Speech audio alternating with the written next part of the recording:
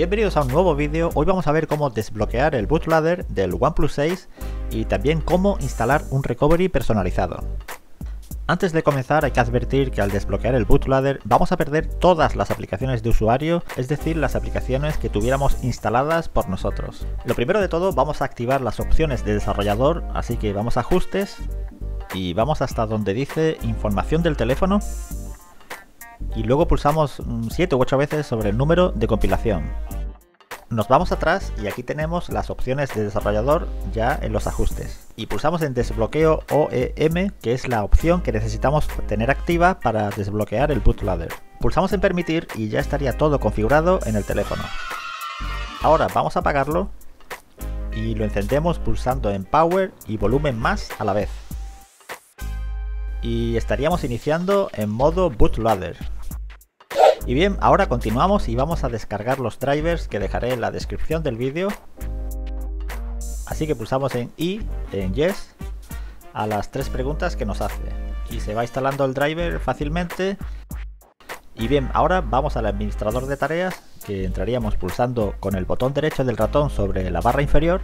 Y vamos a ejecutar una tarea nueva que se llama CMD, lo que viene a ser la ventana de comandos de MS2.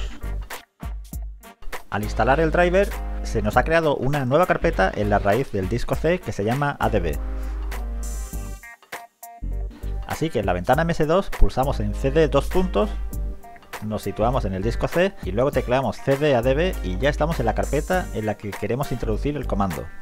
El primer comando que voy a teclear no cambia nada en el teléfono, simplemente nos va a decir si el PC reconoce al OnePlus 6, así que escribimos fastboot device y si nos aparecen varios números significa que reconoce el PC al teléfono. Ahora sí, vamos al comando importante que es fastboot OEM unlock y pulsamos intro y al enviar el PC al teléfono este comando tendremos que situarnos en la opción de abajo con el botón volumen y luego confirmamos con el botón power. A partir de ahora ya tendríamos nuestro bootloader desbloqueado y nos aparecerá al inicio un aviso de que el bootloader está desbloqueado, que tengas cuidado, no vaya a ser que se te rompa el teléfono, bla bla bla.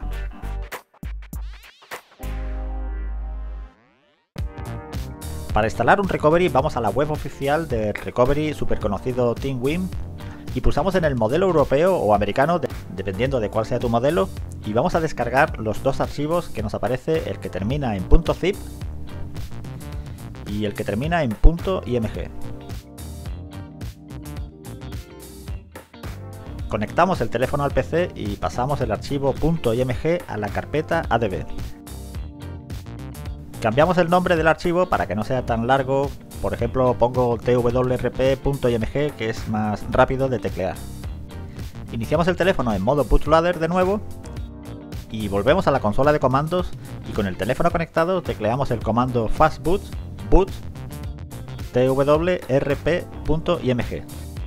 Este comando no va a instalar el recovery, sino que va a iniciar el teléfono en modo recovery sin instalarlo. La instalación la vamos a hacer ahora. Introducimos el patrón de desbloqueo que suele costar un poco con el recovery sin instalar. Puede dar algún fallo el táctil de la pantalla. Pero como vemos ya detecta el dedo y vamos a install y buscamos el archivo .zip del recovery que hemos descargado antes que está en la carpeta download. Y bien aquí tenemos el recovery enchilada.zip hacemos swipe y listo.